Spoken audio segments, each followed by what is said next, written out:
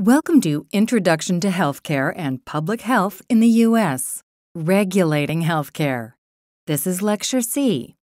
The component Introduction to Healthcare and Public Health in the U.S. is a survey of how healthcare and public health are organized and how services are delivered in the U.S. It covers public policy, relevant organizations and their interrelationships, professional roles, legal and regulatory issues, and payment systems. It also addresses health reform initiatives in the U.S. The learning objectives for regulating healthcare are to describe the role of accreditation, regulatory bodies, and professional associations in healthcare in the U.S.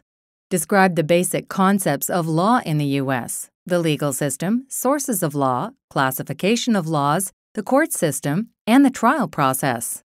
Describe legal aspects of medicine involving the Affordable Care Act, professional standards in healthcare, medical malpractice, tort reform, and Medicare and Medicaid fraud and abuse. Describe key components of the Health Insurance Portability and Accountability Act, or HIPAA, and current issues concerning privacy and patient safety in the U.S.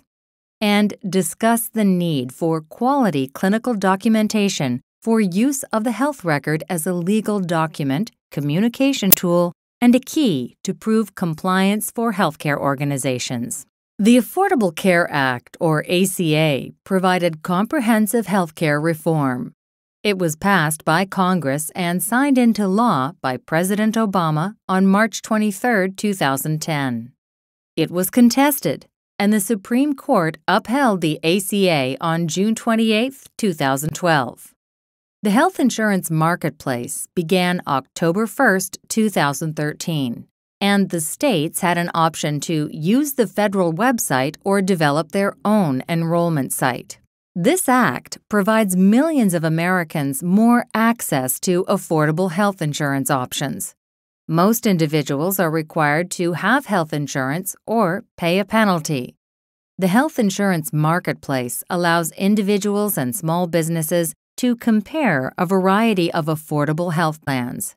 Middle and low income families now receive tax credits that cover a significant portion of the cost of coverage. The Medicaid program was expanded to cover more low income Americans. ACA also requires that there are plans to cover patients with pre existing conditions. And finally, the Act provides for free preventive services. Every state, the District of Columbia, and every U.S. territory has its own Medical Practice Act. Each of these acts establishes a state medical board. These boards license physicians and discipline those physicians who break the law. In addition, they investigate complaints about physicians who may be unethical or incompetent. The organization and the authority of state medical boards vary. In some states, the boards are independent and have authority over all licensing and disciplinary matters. In other states, the board is part of another organization, such as the State Department of Health. State medical boards usually include volunteer physicians and members of the public. Legally speaking, a medical standard of care is the level of skill and professionalism that a reasonably prudent physician would provide. A prudent physician is one who is careful, sensible, and uses good judgment. Standards of care usually come from within the medical profession. However, they can also come from entities outside the profession, such as insurance companies.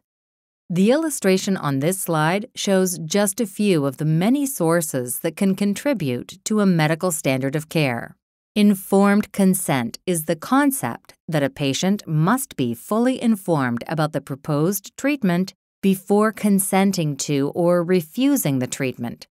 This is required both legally and ethically. If the patient is a child or is not mentally competent, someone with legal authority must give consent for that person. Other exceptions exist, including principles that apply when a patient is unconscious or in an emergency situation. Informed consent should include more than just handing the patient a form to sign. It should be a process of communication between the patient and the healthcare professional. If a patient gives consent but is not fully informed, or if the patient does not give consent and the procedure is performed anyway, that can result in legal problems for the healthcare provider. Meaningful, informed consent can be given only if the patient is fully informed about the risks and benefits of the proposed treatment as well as the risks and benefits of other options. The patient must have the opportunity to ask questions and receive understandable answers. If the patient wants time to discuss the treatment plan with others, that should be allowed. After deliberating, the patient should have the opportunity to communicate his or her decision to the treatment team. Some states have proposed or passed legislation to require shared decision making be part of the informed consent process. Shared decision making is an informed discussion between providers and a patient to help the patient decide among multiple acceptable healthcare choices. The discussion incorporates, incorporates the patient's priorities and values. Decision aids are tools designed to facilitate the shared decision making process. These aids include information on the options, risks and benefits of the options, and often include a priority setting activity and some coaching or guidance to prepare for the, for the planned shared discussion. Patients typically view a decision aid before meeting with their own provider or team of providers to determine the healthcare choice that best matches their values and preferences. A previous lecture in this unit introduced the concept of tort law. This subcategory of civil law deals with something that one person has done to another that has resulted in harm and does not come out of a contractual relationship. The main two types of torts are intentional torts and negligent torts.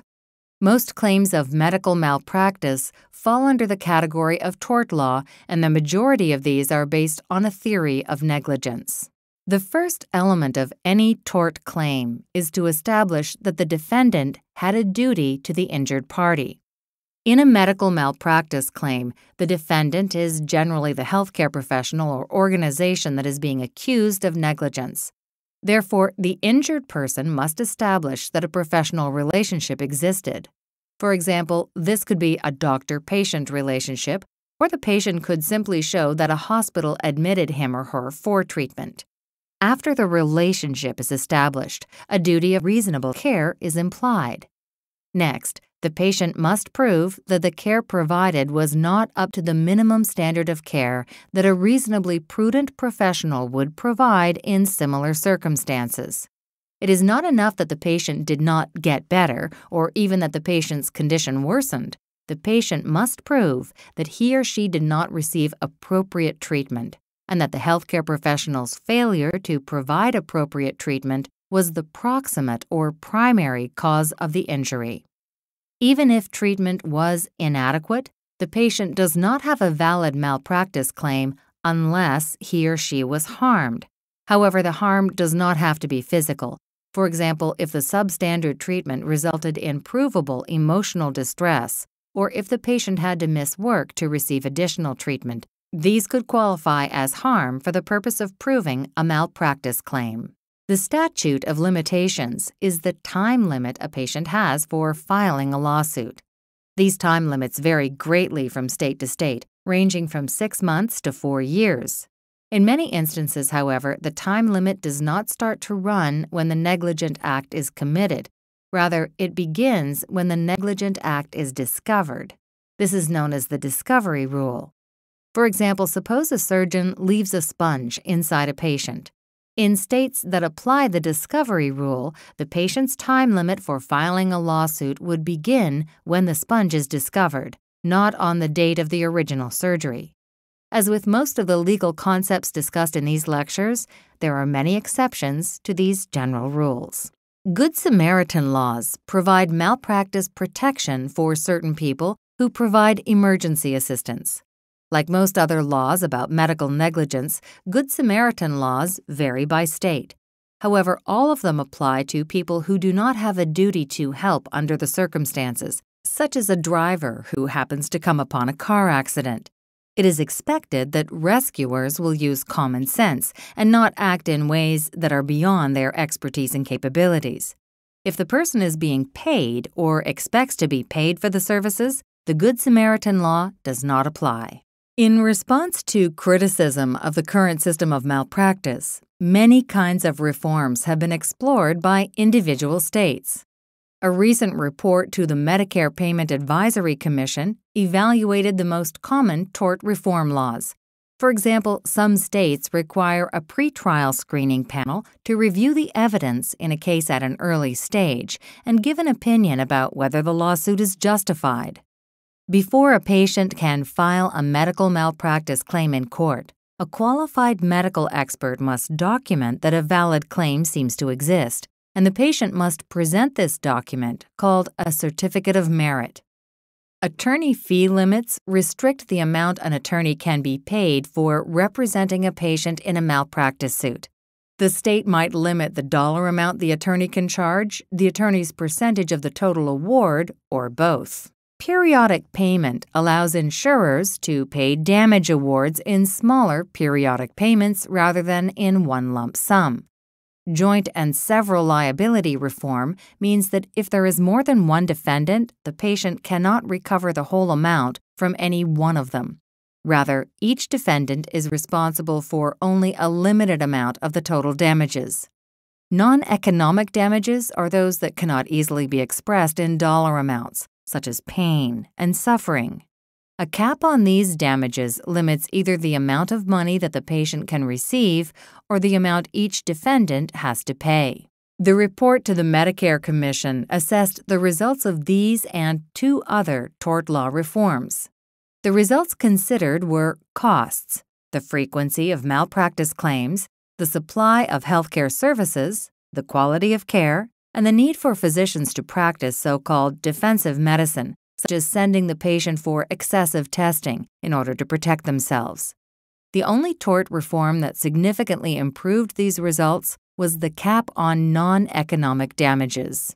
One proposed reform, now being evaluated, is for a panel of experts to predetermine what non economic damages are appropriate in a lawsuit. In this approach, the various possible medical injuries are listed and ranked by severity. For each level of severity, a range of dollar values is assigned for allowable non economic damages. Health courts are an alternative to the regular court system, and many variations have been proposed. A major difference between health courts and regular courts is that in a health court, the expert witnesses are neutral instead of being paid by one side or another. Another major difference is that the judge or hearing officer must be knowledgeable about healthcare matters. In disclosure and offer programs, institutions encourage healthcare professionals to tell patients about medical errors. In appropriate cases, the institution offers modest compensation so the parties do not need to go to court. A safe harbor law reduces or eliminates defendants' liability if they can show that they followed a reasonable standard of care. One proposal is that healthcare professionals have a safe harbor if they follow evidence based practice guidelines. These are typically published guidelines that are based on the latest medical research. The report to the Medicare Commission concluded that there is not yet enough evidence to properly evaluate any of these newer reforms. However, the report said the existing evidence is promising enough to justify demonstration projects to gather more information. The Affordable Care Act authorizes $50 million in grants to states to develop, implement, and evaluate alternatives to tort lawsuits. Another venue in which law and medicine interact is in the Medicare and Medicaid programs. The U.S. Department of Health and Human Services has an Office of Inspector General, or OIG, that protects the integrity of Medicare, Medicaid, and other government programs. The OIG defines fraud as gaining a benefit by intentional misrepresentation or concealment of relevant facts. Waste means incurring unnecessary costs as a result of poor management practices or controls. Abuse refers to excessive or improper use of government resources. In cases of fraud, waste, or abuse, the OIG can pursue both criminal and civil penalties. Five major federal laws address Medicare and Medicaid fraud, waste, and abuse. Briefly, the False Claims Act prohibits the submission of false or fraudulent claims to the federal government. The anti kickback statute forbids asking for or receiving anything of value in exchange for referrals of federal health care program business. The Stark Law prohibits physicians from referring Medicare or Medicaid patients to clinical laboratories and certain other services in which they have a financial interest. The exclusion statute bans individuals or organizations convicted of certain crimes from being providers in the Medicare and Medicaid programs. The Civil Monetary Penalties Law authorizes the OIG to impose fines on healthcare providers who commit fraud, waste, or abuse. This concludes Lecture C of Regulating Healthcare. In summary, a number of complicated laws apply to healthcare. Moreover, the system is changing rapidly because of the Affordable Care Act and the many proposals for tort law reform. However, the basics of healthcare law remain the same. Healthcare providers must obtain informed consent from their patients, and they must provide care that is consistent with reasonable standards. In addition, if they are Medicare or Medicaid providers, they must conduct their practices in accordance with the federal standards for those programs.